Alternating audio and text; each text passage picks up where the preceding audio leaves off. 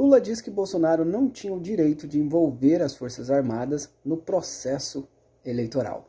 Confira o vídeo. Vocês estão vendo que ainda tem na frente de quartéis algumas pessoas inconformadas com o resultado eleitoral. E ontem aconteceu uma coisa humilhante, deplorável para nossas Forças Armadas.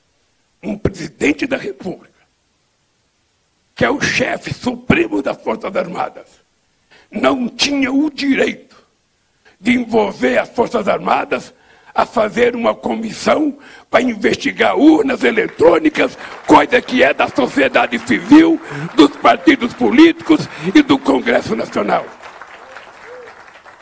E o resultado foi humilhante. Foi humilhante.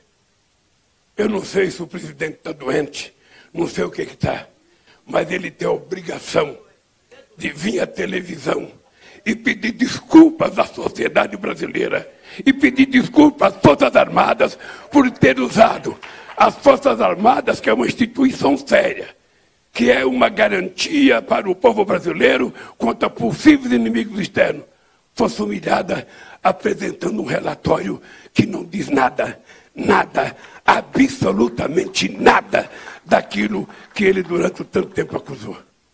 Um presidente da República, ele pode errar.